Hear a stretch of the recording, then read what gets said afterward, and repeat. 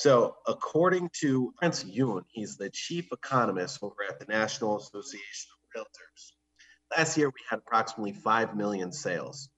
This year, we're going to have approximately 6.2 million sales. In addition to that, we're roughly 4 million homes short of actually the amount of supply that we need. So that's absolutely nuts. So you can understand on a national basis, we're short the amount of homes that we need.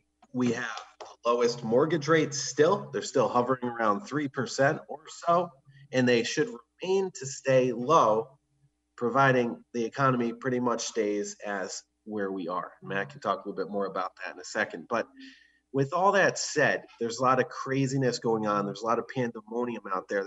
Buyers out there than ever because of such a shortage. Let's talk quickly about here in Rhode Island. Here in Rhode Island, 640, 650 active homes on the market, nearly 2,000 pending. And this is just single family, guys.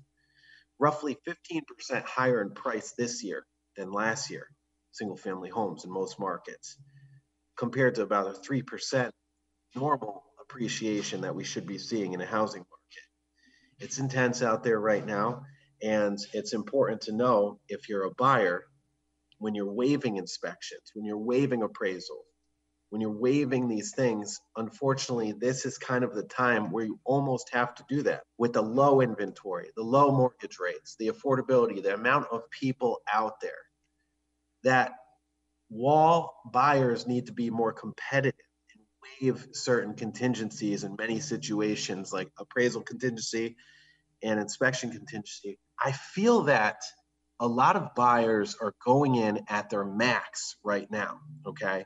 They're going in at their max. So if they're pre approved to 450, they're going in at 450. Right. So what's going to happen, in my opinion, and the sky isn't falling, but what's going to happen, in my opinion, is two, three years from now, some problems that could have come up and been avoided in inspections, like a, a basement that pours water in, or a septic that is on its last leg, stuff that you could normally ask the sellers to fix, is now going to come in and be an issue for these potential homeowners and borrowers, Matt. And my theory is is that this is just going to be a compounding effect, basically like this. They're going to call John Lapointe at Lapointe Insurance and say, "Hey, bro, I need to file a claim. This thing happened or this thing happened. So now insurance is going to go up. In addition, what else happens with escrow? Taxes lag the market and will go up even if, prices slightly decline. So my thing is this is that people are over leveraged. They're not going to be able to afford the maintenance. Okay. Supplies are through the roof. We've got inflation, which is absolutely nuts price of wood, lawnmowers, everything else, just going Home Depot, it's nuts, food, and insurance premiums and taxes are going up. So what happens to that quote unquote fixed mortgage? The quote unquote fixed mortgage goes up.